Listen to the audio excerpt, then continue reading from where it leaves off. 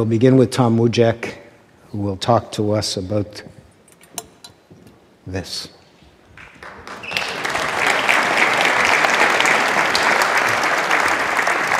Thank you, Moses. So we have a, have a fundamental need to orient ourselves in space and in time. We have a fundamental desire to know what time it is and to know where we are in space. And today we've got these amazing devices, don't we? And we have probably two or three of them that help us orient ourselves. We, it tells us time to the nanosecond, and we know where we are uh, uh, on the planet with remarkable precision. Now, what if you didn't have this device? What if you had no electricity? What if you had no mechanical clock, no watch? How would you know where you were? How would you know what time it was? How would you know what the date was? Well, it turns out this is a question that people have struggled with. these are questions that people struggled with for a long time and they too like us had a series of magical devices. It's a device that um, has been around for probably 16, 1700 years. It uh, was pervasive across North Africa, all of Europe, the Middle East, and most of, uh, uh, of, of Asia. It was known by just about every educated person. In fact, it was taught in elementary school, how to understand this device, and almost no one knows of it today. And what I'd like to do today in my time is to share with you how to tell time and how to know where you are with this device called the astrolabe. So, the astrolabe is commonly thought of as the world's first astronomical computer. Oh, and I'm going way too fast here. And uh, let me show it to you. So, here's the device here. This is a, a replica of uh, an astrolabe. It, and as you can see, it's made up of brass. It's got all kinds of uh, dials and settings, and you can uh, identify dates, and you can identify constellation names, and there's even settings on the back that are used for a variety of other purposes. So this is a replica and um, the, uh, of a 16th century astrolabe that uh, would, if we had the original one here, here, would cost about as much as two High Park houses. And I'm talking fully detached, you know, fully renovated houses these things are insanely expensive, and the ones that are even older, that are in the 15th and 14th and 13th and 12th and 9th centuries, are probably as much as Moses' houses, or at least small part of it. It's really expensive stuff. So um, let me illustrate and show you what the, the different parts of the astrolabe are, and then we can understand how to use it. And what I think you'll find is it's, it's an amazing brain scratch because it helps you understand how the sky works and what time really is, or at least how we conceive of time. So the astrolabe has different parts. So the first part, hello. Oh, here, yeah, went back too far. Uh, the first part is called the mater. And that means the mother, and it's the case that holds everything in place. Um, the spinny part is called the rete, and it holds the positions of the sun, moon, and planets. Okay? Uh, inside the mater is another part which is called the plate. And actually, it, um, there's several plates in most astrolabes, and they correspond to the positions of the stuff in the local sky. This will become clear in a second.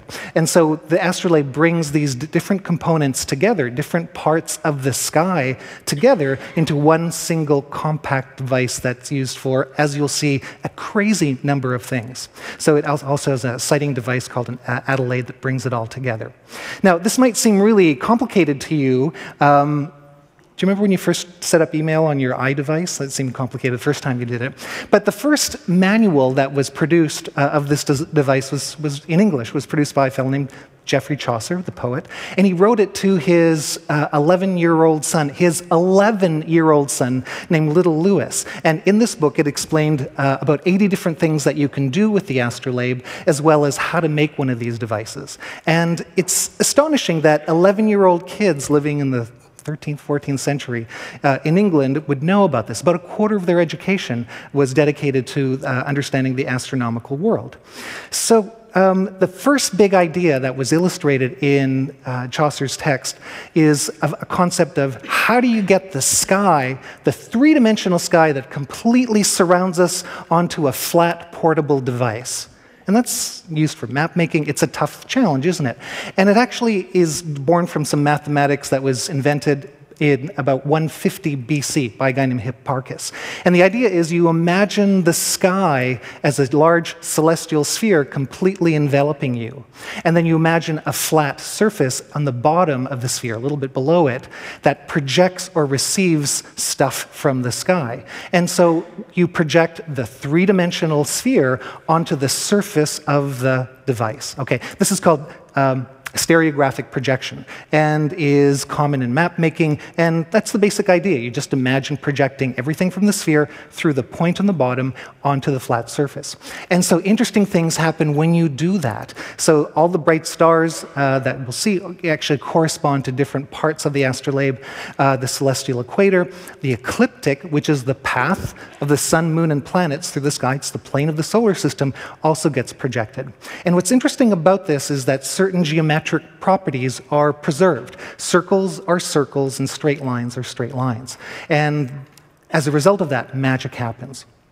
The second big insight that emerged from this is that the sky actually doesn't have just one coordinate system, it's got a couple. There is the, um, the, uh, the position of the fixed stars on the celestial sphere, and then there's the local sky. So there's two different kinds of skies that we have to contend with if we know if we need to understand where we are and when we are. So the local sky coordinates are kind of tilted, that's, and, uh, I'll show you where those are located. Two different parts of the sky, uh, sky, or two different references of the sky, correspond to different two different parts of the astrolabe. So the rete shows the positions of the sun moon, and planets. That's the ecliptic. And then the local sky is represented by the plate. Don't worry, this gets a, uh, it's a big brain scratch, but the actual use of it is insanely simple. The astrolabe brings it all together. And the third big insight is that the sky moves, and so must the astrolabe, pivoting around the North Star, which is at the center of the device. Okay? So this is a computer or a model of the sky. And when you dial up the astrolabe so that it corresponds to the real sky, you have an amazing, accurate model of the entire universe as it was known in the palm of your hands that would correspond to the entire night or the daytime sky. That's the magic of it. That's the beauty of it. So, how do you tell the time? So, um, telling the time is. Um, well, let me show you in two ways. If only we had this, uh, the uh, sun that we could look at uh, and, and, and proj- oh, yeah, here we go. Well, so um, here's the quick and dirty way of how to tell time with the astrolabe. It's just a, a number of quick steps. First thing I do is I sight the sun up here and I see its angle in the sky or the altitude. I measure the altitude and it's about um, 55 degrees. I then find out what the date is, and the date uh, is the uh, last, let's just say it's the end of June here. And if you see, um, that corresponds to a certain degree of angle. It's the last degree of uh, 30 degrees of Gemini. So 30 degrees Gemini is where the sun is in the sky. Then I look on this scale here, that's the path of the sun, moon, and planets. I find Gemini. Okay? And so I know that point right there is where the sun is in the sky. And then all I need to do is map it to where it corresponds to 55 degrees altitude. And that corresponds to that little spider web there. So I'm just going to say it's there for now. And then the final thing I just need to do is just take where the um, 30 degree Gemini is there, and then make that line here, and then it tells me the time. Okay? So uh, it's about 215 if I made that measurement. And if I did it without having to explain it to you, it would take about seven seconds or so to actually do it. Here's what um, it looks like in slow, or actually spelt out. Telling the time in the daytime, we measure the sun's altitude. Okay? From there, we find out where the sun is in the sky on the ecliptic. We identify that position. We correspond it to the sun's altitude. That's the thing in the back. Al. And then we move the dial so it corresponds. And then finally, we have the sun's hour. So that's how you tell the time. And that's how millions and millions of people told the time because there was no other way. There were no clocks. And had, we had a very different appreciation of what time is. So, what is time? Yeah, capture it. You know, we think of time now as being segmented in these small units of increments that are completely synchronized around the planet. But no, back in the day, time was certainly not um, that. Time is an amorphous, completely abstract human concept that we all feel, but we can't put our fingers onto. So we needed some type of device to be able to make sense of time. And the way in which people did that is by taking and measuring the most reliable timekeeping keeping device on the uh, in the world, which was the rotation of the planet. Okay, can you do this in the nighttime? Absolutely. The way you would do this is just take one extra step. You'd find a bright star. Those of you who are astronomers will recognize this as the summer triangle. We identify the star called Deneb. We measure the altitude of Deneb. We find Deneb on the rete, it's a little pinpoint. We put Deneb's altitude onto uh, the, uh, move that rete so that it measures to the exact point. And then from there, we have an accurate map of the sky. And then from there, we would find where the sun is. And the sun would be below the horizon because it's dark, right? And then you'd be able to tell the, the sun's hour. So that's how people told the time back in the day. So if you think about this, what's really going on is this is the first um, computational platform that, was, that lasted for 1,500 years. That's pretty amazing, isn't it? I mean, think of how long Apple or open source or the web has been around. This is the fundamental timekeeping device that was used throughout Western civilization. The markings on the front and the back corresponded to individual applications, different kinds of uses. And I've just shown you two uses. So uh, little Lewis was, learned about 70, 80 different applications. There's a, um, uh, a book by a fellow named Masa'Allah written in 680 uh, in uh, um, Saudi Arabia that describes about 330 applications, and there's one book, Lost to Antiquity, that describes about 1,000 different applications. So it was super popular in uh, the world of Islam. Why? Because in Islam, you need to pray towards this Kaaba, um, the center of Islam, five times a day. And so the callers would need to find out when the exact five time uh, periods were. And they actually corresponded to the position of the sun in the sky, which could be easily marked on uh, the edge of the astrolabe. So what would be a really complicated and difficult thing to do was we just you know take a couple of measurements in the sky, uh, and the caller would, call, would uh, deliver the call to prayers. It all corresponded to the position of the sun in the heavens. And uh, so, so, it's, uh, it's so, uh, so, so that's one application. Um, by the way, if you're going to do this with traditional algebra, uh, it, these are the equations that would be uh, required to be able to make those calculations uh, to actually set. And it's super hard. This is like third, fourth year university, uh, you know, astrophysics stuff to be able to calculate this stuff, but it's embedded in the geometry of this device. Isn't that cool? You know, it's actually built in to the device. So um, it was also used, uh, there are different versions of the astrolabe were used by uh, early Christians for, again, about 1,500 years um, for times to prayer as well. And they had to pray eight times a day as opposed to uh, five or seven in the, in the traditional.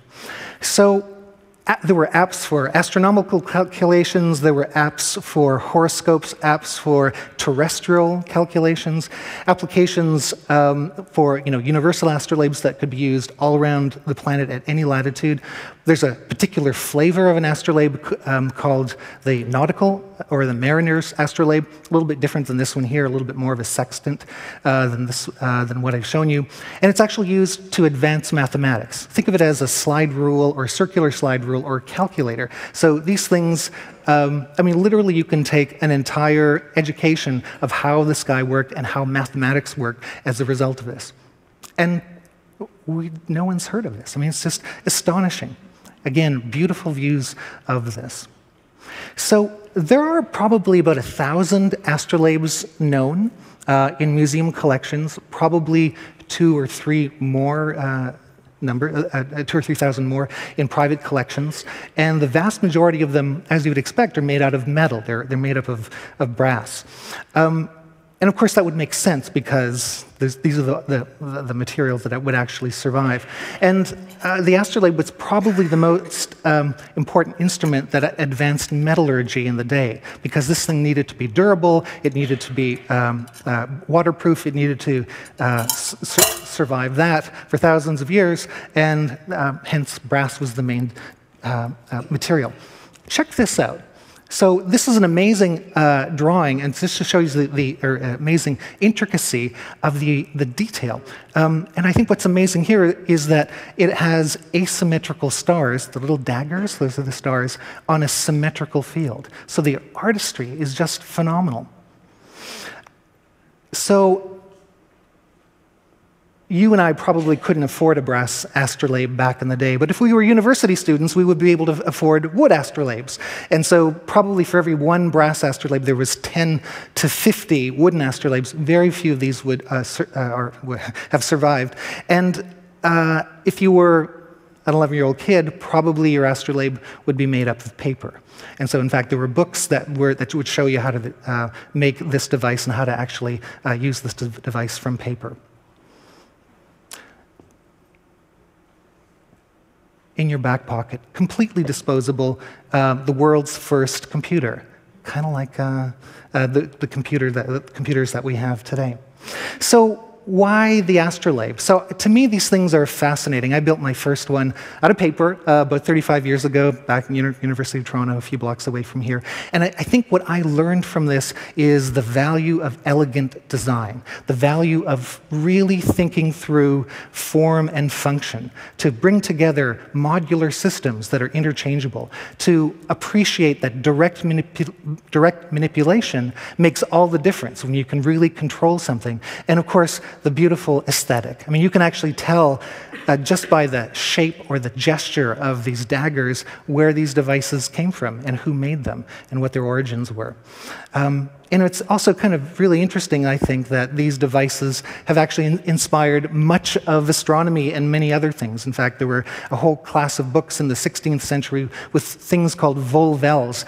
They're actually paper cutouts that spun around, computers within computers within computers in this device. Some of the earliest clocks actually uh, had astrolabes. There are buildings throughout the, the Middle East and also uh, in India that uh, are giant versions of astrolabes called the Jantar Mantar. And um, uh, the most advanced clock, but Stewart Brand, I'm not sure if he's spoken here before, um, uh, is designed to last 10,000 years and actually uh, takes uh, many lessons from the astrolabe. So I don't use astrolabes now. I designed high-end software uh, to, uh, uh, uh, for uh, the entertainment and visual effects industries, as well as for the building industry, manufacturing industry. But I still kind of think about the astrolabe. And I think the thing that sort of uh, I appreciate most in, in designing visual effects software that was used to design this is that how software and how these kinds of tools help us change our mental models. Oh, could we press the forward button? You just got to see this in great animation. Could you press the forward button? Oh, can you reverse? Press the forward button. No? Okay. So what software allows us to do and what stuff like this allows us to do is to change our mental model on the abstract. And in thinking about space, people thousands of years ago had these devices that elect, allowed them to directly connect their imaginations into space. As we develop our tools, we have a trade off. We gain some things and we lose some things. And what we gain is this remarkable precision and this ability to envision, well, perhaps the entire universe. And that is truly amazing. And by the way, we still still visualize the celestial sphere in this giant uh, cosmic zoom out. Um, but we lose something as well. And I think what we lose is that direct appreciation, that direct connection of what it means for it something to be for it to be 215 what it means where, uh, to know where north is and what it means oh to be out of time with that thanks so much